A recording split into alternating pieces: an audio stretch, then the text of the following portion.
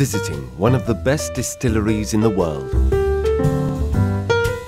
Fortin SA. The rum of Paraguay. Nowadays, rum is traditionally from the Caribbean because sugarcane flourished in its lands as in no other place.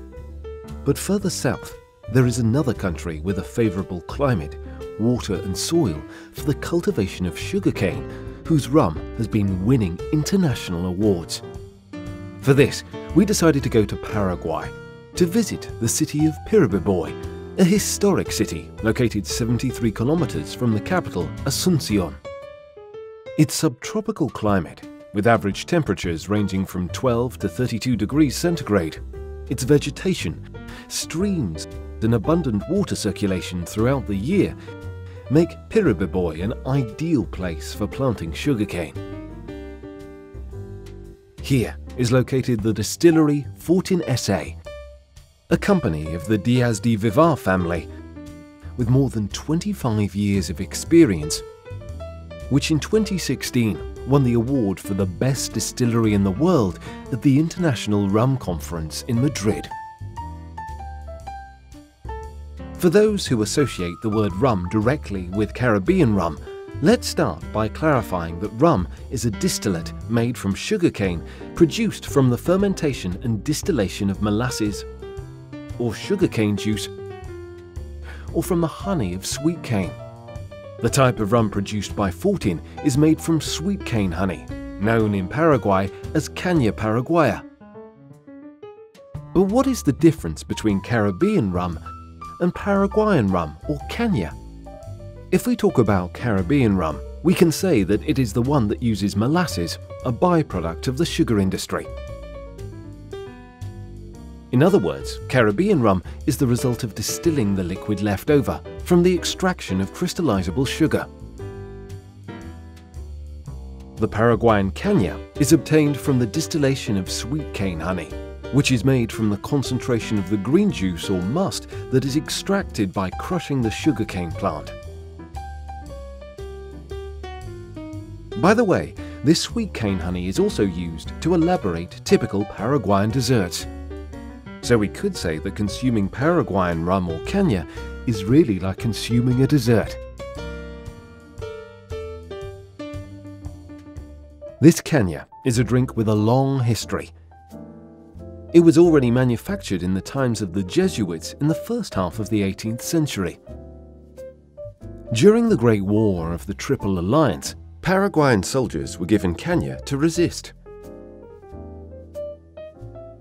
General Francisco Roa had stated that the caña should be honoured for the services provided to the army. When we are hungry, Roa said, caña. When we are sick with cholera or diarrhea, caña when we are sad, caña. And when, finally, we want to increase or excite our warrior spirit, caña. In fact, the caña came to identify Paraguay as tequila does Mexico. In Fortin SA, the entire production chain is unified in one place. The agricultural sector with its own plantations, the artisanal sector with the production of pure sugarcane honey, and finally the industrial phase with fermentation and distillation. With almost 800 people working directly and indirectly, complete traceability of all processes is achieved. The crop is grown on approximately 1,500 hectares of our own land, 70% of which is harvested by hand Yes, you heard right, 70%, because harvesting by hand is beneficial for production, because the plant is cut whole and therefore has a greater resistance to bacterial attack. This would not happen when using harvesting machines. The crop yield per hectare can reach up to 120 tonnes, which is twice the yield achieved at the national level.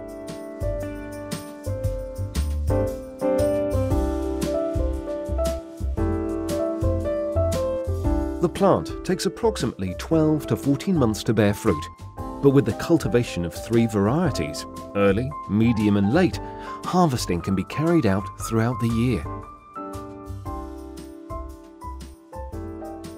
While we tour the orchard, which is self-sustainable, a worker suggests us to chew and taste the flavour of the plant in order to feel the sweetness of the juice.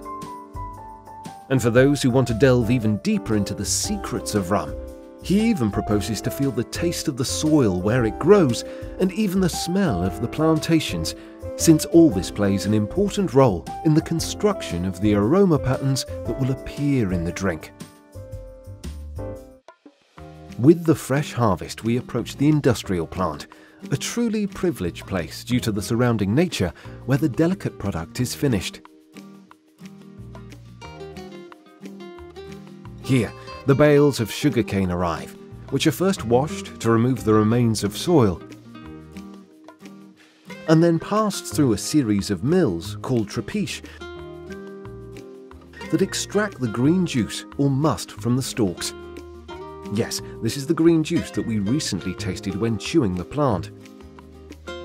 This green juice goes through a filtering process and then is mechanically transported to open kettles at atmospheric pressure where the effect of fire and heat removes part of the water. This liquid must caramelize just enough to give it the bouquet. What results is sweet cane honey, which is a fluid with a higher concentration of sugar and a caramelized flavor.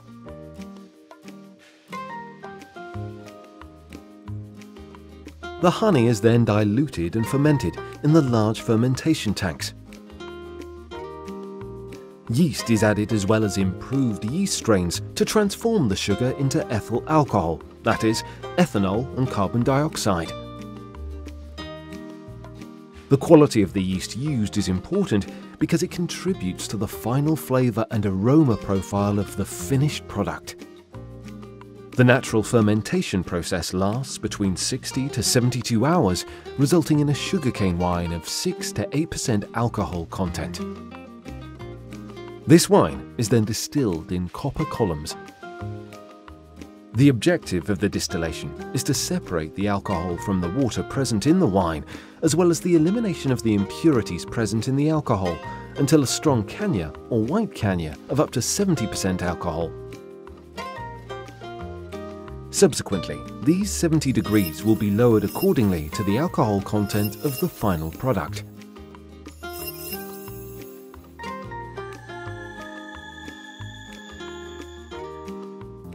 Then, we head towards the first cellars.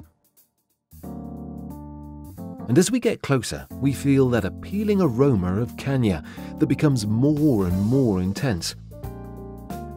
As we enter, we see endless casks placed in series and well organized. On the one hand, incense wood casks, and on the other, stainless steel tanks. In this cellar, litres and litres of rum are unloaded.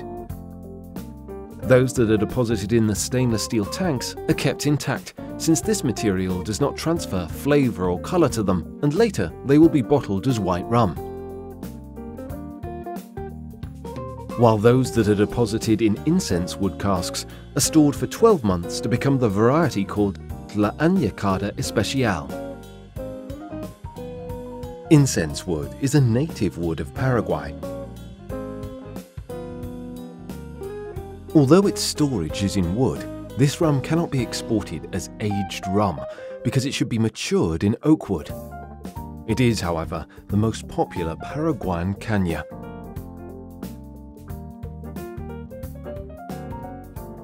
The quality of distilled rum improves through certain natural physical and chemical changes that occur during maturation in barrels. Rum absorbs tannins, flavour and colour from the wood and, due to the porosity of the wood, allows the rum to breathe, causing complex oxidative changes in its chemical composition.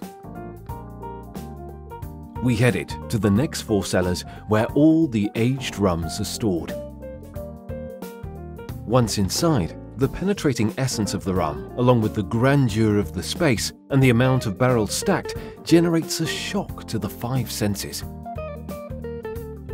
The space is ideal for storing aged rum thanks to the temperature and humidity of the place, the construction made of cold stones, and the nature present in this natural space.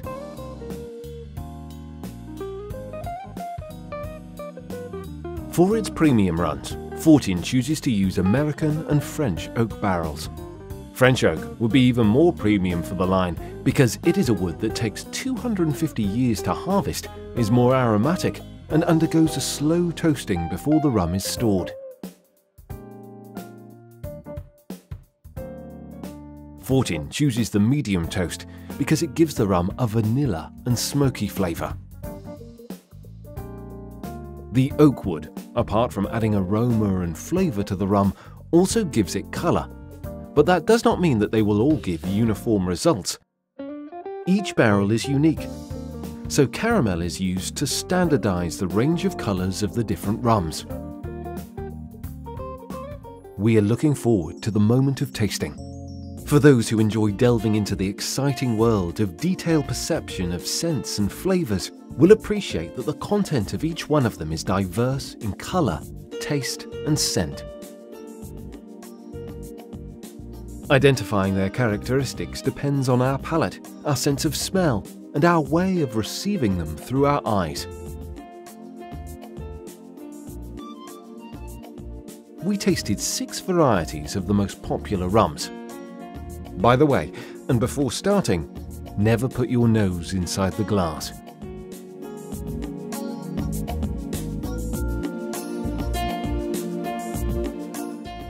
The Añejada Especial is an aged rum. Young, has a light golden colour and a smell and taste of incense wood. Ideal for use in different cocktails, as in this case the bartender uses it to prepare a peach daiquiri.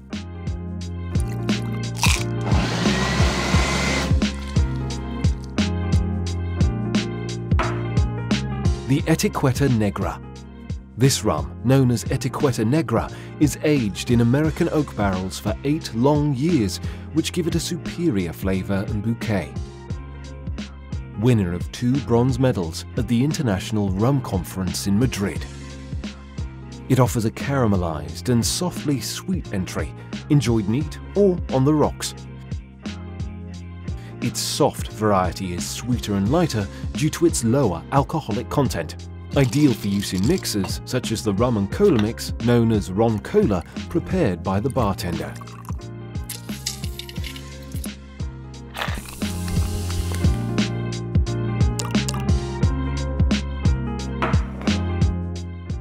The Etiqueta Blanca is a semi-light-bodied white rum, especially for the preparation of fruity cocktails or tropical drinks. We tasted it on this occasion in a cocktail known as Mojito Guarani.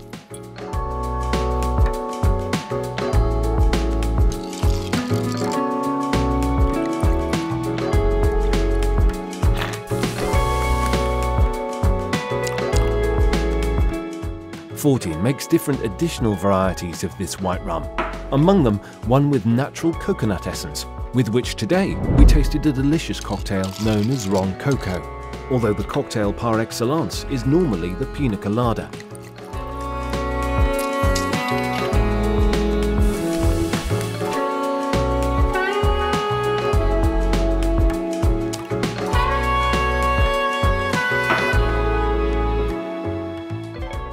Another variety with lemon essence with which we tasted a Capiron.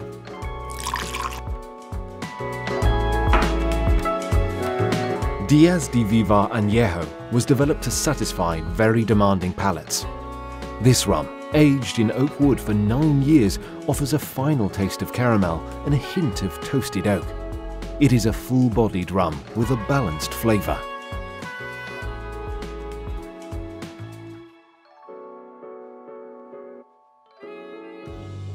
Don Gustavo Diaz de Vivar is an extra aged rum. Aged for 12 years in French oak barrels and then aged in Pedro Ximenez wineskins for 6 months. This gives it a unique and sweet scent. A taste of raisins conjugated with the notes of oak wood. The Heroica is a rum aged in American oak for 8 years that has the particularity of finishing its aging years in barrels previously used in Mburucuyá liquor, which gives it a light and subtle flavour with a final citric aroma and at the same time sweet.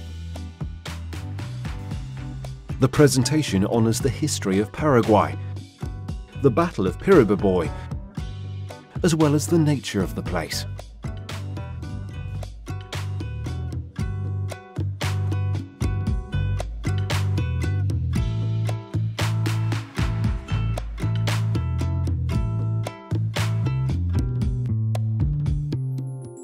Undoubtedly, excellence and quality are perceived in the tasting of the beverages, and international awards confirm that Fortin's Paraguayan Caña belongs to the best rums in the world.